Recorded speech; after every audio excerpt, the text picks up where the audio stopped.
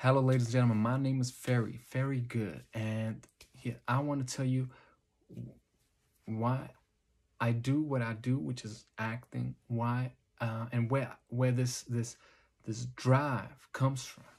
So um,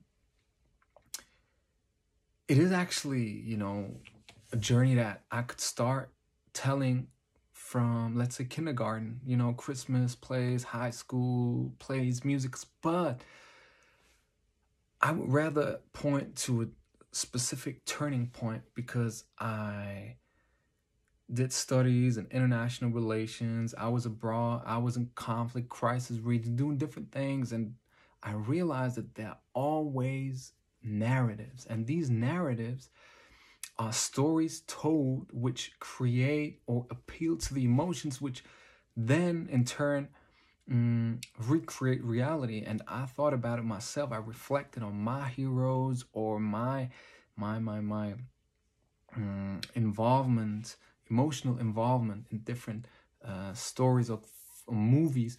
And let's say let's take Rocky as an example, a fictional character who was able to motivate me even even more and in a stronger manner than than other people, uh, boxers, athletes from the real world.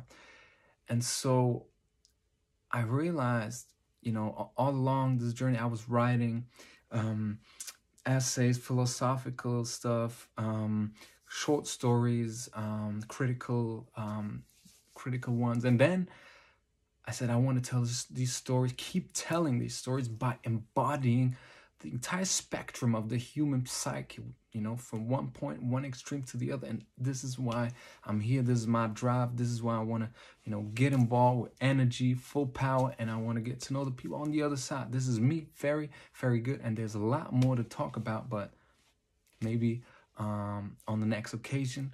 So um, that's me, Fery, Fery good. Thank you.